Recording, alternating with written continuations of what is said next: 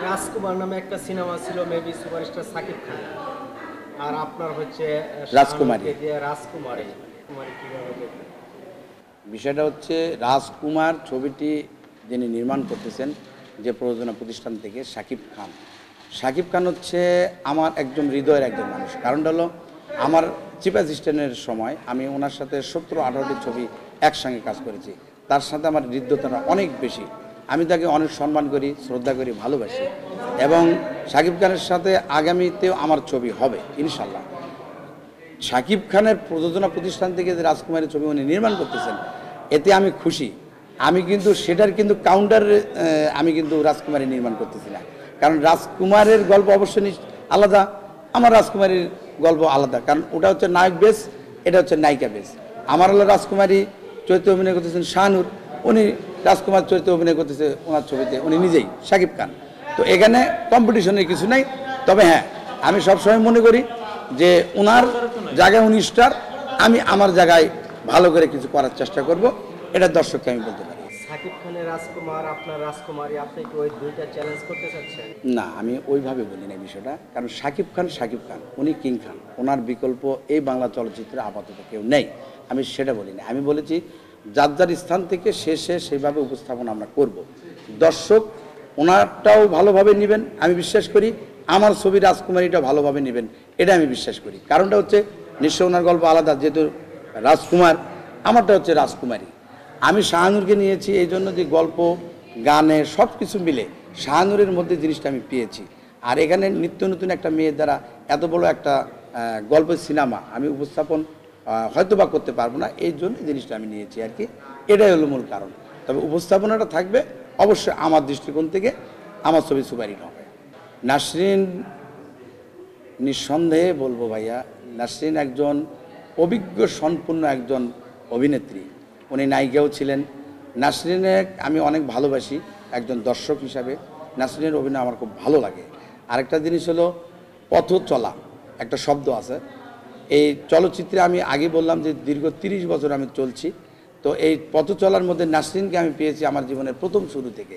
সেই আমজাদ হোসেন, আমার মরুম চলচ্চিত্র পরিচালক আমজাদ হোসেনের কথা বলব। কারণ উনি হচ্ছেন আমার এই চলচ্চিত্রের গুরু, পিতা, যেটাই মনে করেন কর্মপিতা ওনাকে বলি।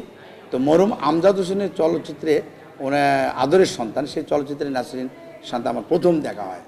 তো সেখান থেকে পথচলা অনেক ছবি নাসরিনের সঙ্গে আমার হয়েছে একসাথে আমরা করেছি। সে থেকে একটা বন্ধুত্ব তৈরি হয়েছে, এই জন্য চরিত্রটা তাকে আমি দিয়েছি। রাজকুমারের শুটিং খুব সুন্দর চলছে, দোয়া করবেন এবং আমার পাশে থাকবেন। সেই সাথে আমি বলব, যারা অভিনয় করতেছেন, ভালো করতেছেন, আমার রাজকুমারী ছবিটির প্রধান হিরো হচ্ছে মুসা খান এবং হিরোইন হচ্ছে হলো শাহানুর। এবং আরও আছেন আমাদের নাসরিন, তারপরে রেবেকা ভাবি, তারপরে হাবিব খান জ্যাকি আলমগীর, তারপরে আরেকজন নবাগত একজন লোক আছেন, তিনি বাবার চরিত্রে অভিনয় করতেছেন, শাহানুরের, আনিসুর রহমান। তারপরে আরও কাস্টিং আছেন। তো আমি এই পর্বে ডিপদুল ভাইয়ের বাড়িতে পাঁচ দিনের শুটিং করব, তেইশ তারিখ থেকে সাতাশ তারিখ পর্যন্ত। ফার্স্ট লট, এরপরে সেকেন্ড লট করব হলো দিনাজপুর স্বপ্নপুরীতে। আর বিশেষ করে যে আমি একটা টার্গেট নিয়েছি যে আমার এই ছবিটি দ্রুত কাজ শেষ করে ছবিটি আমি আগামী ঈদুল ফেতরে মুক্তি দেওয়ার চিন্তা ভাবনা করেছি। আর সেই সাথে আমি বলব যে আমাদের চলচ্চিত্র, আমরা যারা নির্মাতা আছি যারা পরিচালক আছি সুন্দর করে বানানোর চেষ্টা করি দর্শকের এন্টারটেনমেন্ট দেওয়ার জন্য। বর্তমান যুগে আপনি কতটুকু চ্যালেঞ্জ নিচ্ছেন? বর্তমান সময়ে চলচ্চিত্র নির্মাণ করা অবশ্যই চ্যালেঞ্জ ভাইয়া। কারণ হচ্ছে যে আপনার একদিকে আমাদের একটু নাজুক অবস্থা তবে নাজুক অবস্থা কেটে উঠেছে। আর একটা বিষয় আছে সেটা হচ্ছে হলো ফাইন্যান্সের একটু প্রবলেম থাকে। সব প্রডিউসার সমান আসে না। তবে হ্যাঁ দর্শক আমাদের ছবি দেখেন, এটা সত্য কথা। ভালো ছবি হলে দর্শক দেখেন, উপভোগ করেন যে আমার গল্পটা খুব স্ট্রং আর একটা জিনিস আমি জানি, আমার চলচ্চিত্রে তিরিশ বছরে আমি বত্রিশটি উস্তাদের সঙ্গে কাজ করে যেটা শিখেছি যে চলচ্চিত্রে একটি ছবিতে আপনার আর্টিস্ট অনেক সময় কিন্তু সাবজেক্ট হয়ে দাঁড়ায় না। সাবজেক্ট হয়ে দাঁড়ায় কিন্তু গল্প। একটা গল্প যদি ভালো হয়, তাহলে কিন্তু অবশ্য অবশ্যই সেই গল্পটি কিন্তু দর্শক দেখবে। আর আর্টিস্ট নতুন, প্রসঙ্গটা ভালো বলছেন, আর্টিস্ট নতুন কিন্তু নতুন আর্টিস্টকে ডাইমেনশন করে যদি স্ক্রিনে আমি যদি সুন্দরভাবে উপস্থাপন করতে পারি, আমি মনে করি দর্শক অবশ্যই দেখবে। বিষয়টা হচ্ছে একটা বিষয় নিয়ে ছবি সুপার হিট হয় না বা হিট হয় না। এখানে কয়েকটা বিষয় মানে সংযুক্ত থাকে। যেমন একটি ভালো গল্প এবং ওই সিনেমার গান ভালো থাকতে হবে। সেই সাথে সিনেমার চিত্রনাট্য ভালো থাকতে হবে। সেই সাথে সিনেমার উপস্থাপন, একটা ডাইরেক্টরের কিন্তু উপস্থাপনার একটা বিষয় থাকে কিন্তু। সেই উপস্থাপনাটা কিন্তু ভালো থাকতে হবে, যেটা আপনার দর্শককে এন্টারটেনমেন্ট দিবে। আর দর্শককে যদি ওই গল্পটা এন্টারটেনমেন্ট দিতে পারে, তাহলে কিন্তু আপনার একজন হিরোর নতুন আর হিরোইন পুরাতন, এটা কিন্তু প্রসঙ্গ দর্শকের কাছে আসে না। দর্শক কিন্তু মনে করে হ্যাঁ গল্প ভালো। না একটা একটু নতুন, কিন্তু বিষয় কিন্তু ওটা তেমন আসে না, কিন্তু বিষয় আসে কিন্তু যদি গান, গল্প, আপনার অ্যাকশন আপনার চিত্রনাট্য সব কিছু মিলে যদি ভালো হয়, তাহলে দর্শকেরও ভালো হয়। একটা কথা বলব আপনাদের, সেটা হচ্ছে আমার গত পহেলা জানুয়ারি দু হাজার একুশ সালে যে ছবিটি আমার মুক্তি পেয়েছে, সে ছবির নাম কেন সন্ত্রাসী? কেন সন্ত্রাসীতে যে কয়টি গান ছিল সবকটি হিট গান। তার মধ্যে হইতে একটি গান সারা পৃথিবীতে আলোড়ন সৃষ্টি করছিল সেটা হচ্ছে হলো হালকা মেরেছি ভাই লাল পানি। এই গানটি এতটি জনপ্রিয় হয়েছেন যে দেশ বিদেশ থেকে আমার কাছে ফোন দিয়ে জিজ্ঞেস করতে যে ভাইয়া, আপনি এই গানটি কীভাবে লেখছেন বা সুর করেছেন? আসলে আমি প্রেক্ষাপট সিচুয়েশনে কিন্তু এই গানটা কিন্তু আমি লিখেছি। কারণটা হলো যে এই গানটা অমর। যে পৃথিবীতে যতদিন বিভিন্ন অনুষ্ঠান চলবে, বিভিন্ন সিচুয়েশন চলবে, সেই সিচুয়েশন এবং অনুষ্ঠানে কিন্তু এই গানটা চলবে।